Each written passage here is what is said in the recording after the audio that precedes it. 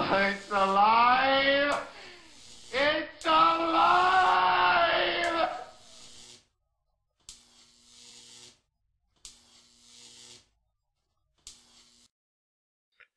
Well, I'm Artifacts of Mars with the Mad Science Update. Uh, the International Potato Center. Yes, there is one. It's in Lima, Peru. Launched a series of experiments to discover if potatoes can grow under Mars atmospheric conditions, and thereby prove, thereby prove they are also able to grow in extreme climates on Earth. This phase two effort of CIP's proof of concept experiment to grow potatoes in simulated Martian conditions began on February 14, 2016, a tuber was planted in a specially constructed CubeSat contained environment built by engineers from University of Engineering and Technology in Lima, or Lima if you prefer, based on designs in advance provided by and advice provided by National NASA Ames Research Center, California. Preliminary results are positive.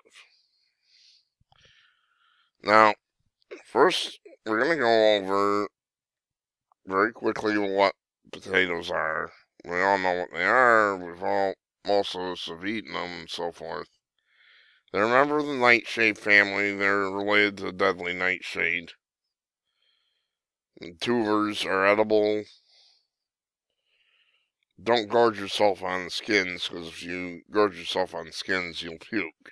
But, uh, tubers are edible, and they've been an important food source for many people for a long time. Uh, growing crops under Mars-like conditions is an important part of the experiment, says Julio Valdivia Silva, a research associate with SETI Institute, has worked at NASA's Ames Research Center, now works at UTEC in Lima. If the crops can tolerate the extreme conditions we're exposing them to in our CubeSat they have a good chance to grow on Mars. We'll do several rounds of experiments to find out which potato varieties do best. We want to know what the minimum conditions are the potato needs to survive. Now, CubeSat houses a container holding soil and tuber inside this hermetically sealed environment. That's mistake number one.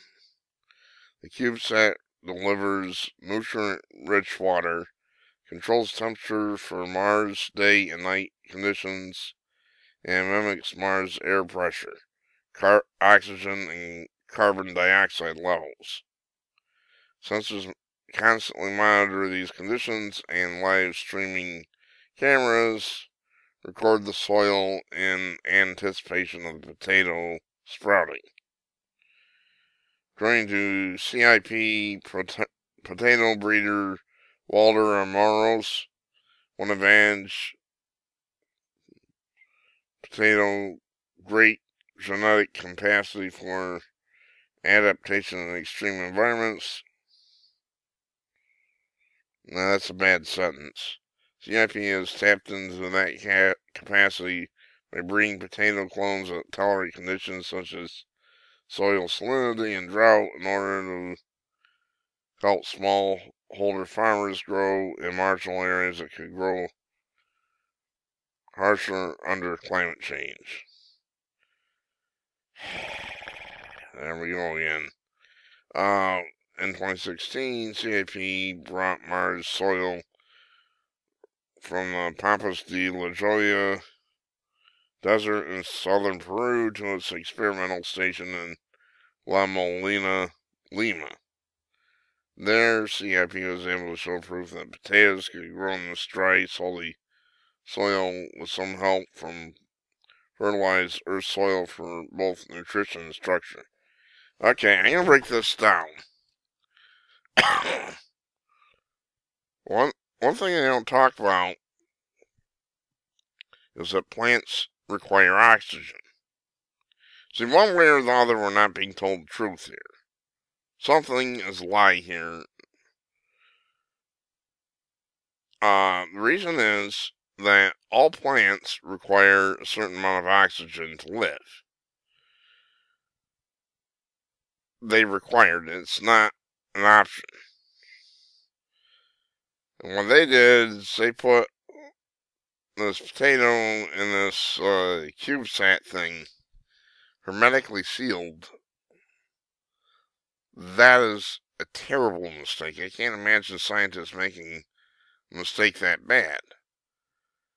Because what the obviously what the potato plant would do is it would release oxygen, oxygen, but it also consumes it. Now, uh, we're going to take a look at the composition of Mars Martian atmosphere.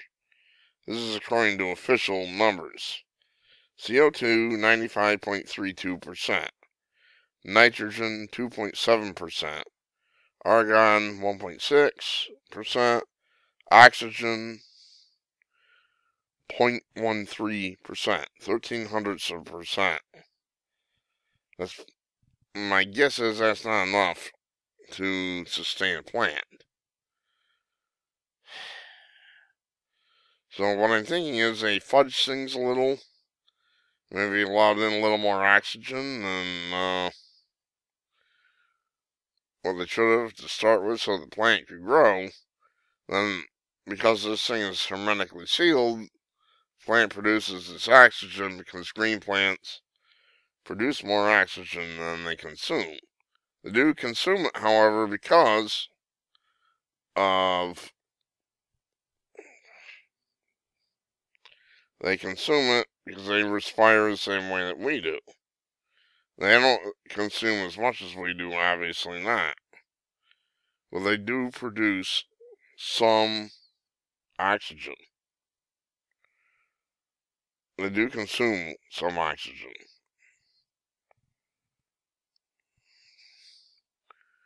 So one way or the other, we're being given a line of BS here.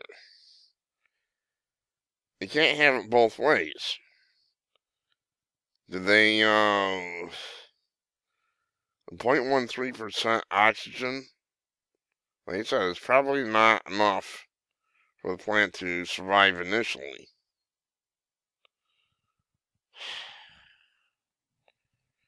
I suspect they fudged some numbers. Or we're not being told the truth about the surface conditions on Mars. One way or the other, this just isn't going to cut it. Either we're being lied to about the surface conditions on Mars, or they're lying to us about why this experiment was fudged. And good luck figuring out which is which, or both.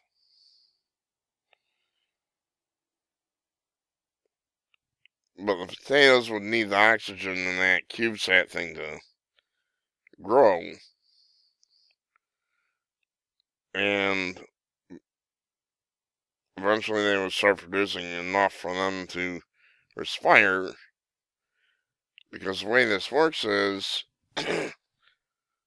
plants consume CO2 in the process of photosynthesis, and then still having a little problems with my mouth.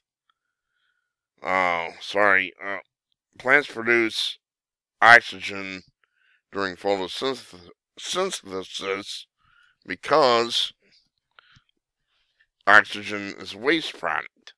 And then they also consume that waste product as they respire.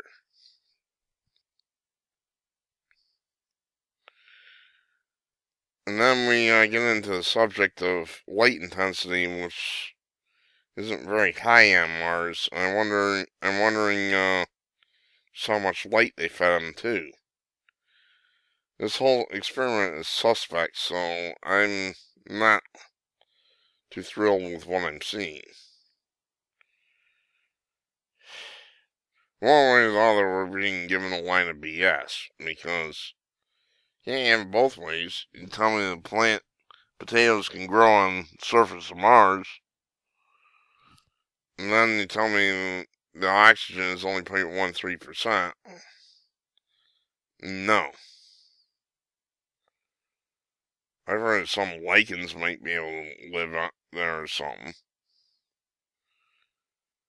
Interesting though, somebody's giving us a line of BS.